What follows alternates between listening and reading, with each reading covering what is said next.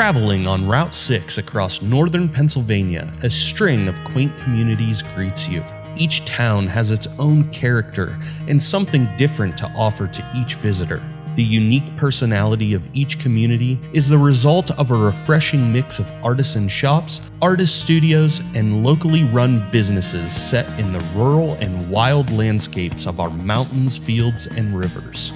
This is not the land of large chain stores. Artists and artisans create their work in a variety of media and styles.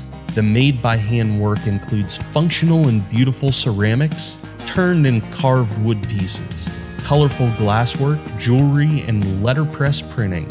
There are paintings and photography inspired by each region, locally grown herbs, and historically accurate forged ironwork. It is worth your time to visit the artists, galleries, museums, and shops. A lot of people are really surprised when they walk in because they might be familiar with letterpress but not necessarily with the equipment behind it.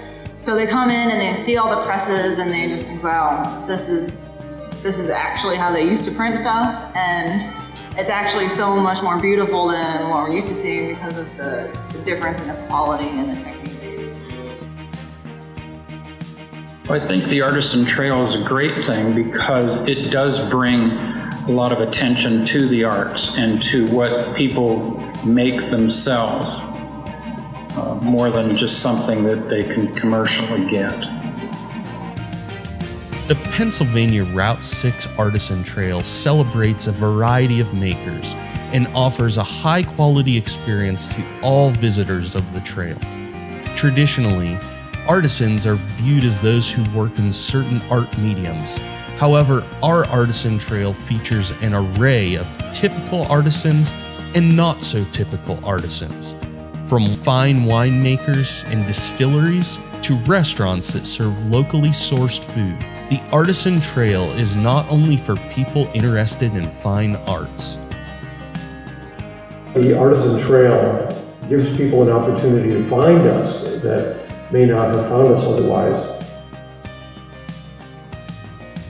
And you'll find that in each of these little towns, they're kind of like um, an oasis in the, in the forest almost. There's a really nice natural connection in the northeastern part of the state to the trees and lakes and, and rivers, but there's also really great connectivity to uh, New York and Philadelphia. So in any given town, you can find something really interesting.